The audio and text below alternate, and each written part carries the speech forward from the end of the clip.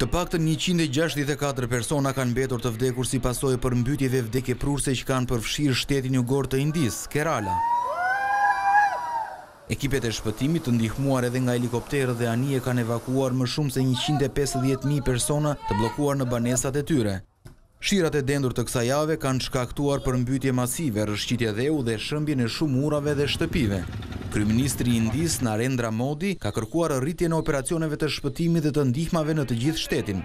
Ndërkohë autoritetet kanë hapur portat e tridhjetë e katër rezervuarëve, për shkak se uji arriti në nivele të rrezikshme. Deri më tani, qindra fshatra janë përmbytur, ndërsa mijëra shtëpi janë bërë të pabanueshme. Çdo vit, qindra njerëz humbin jetën, si pasojë e shirave të dendur që përfshijnë Indinë.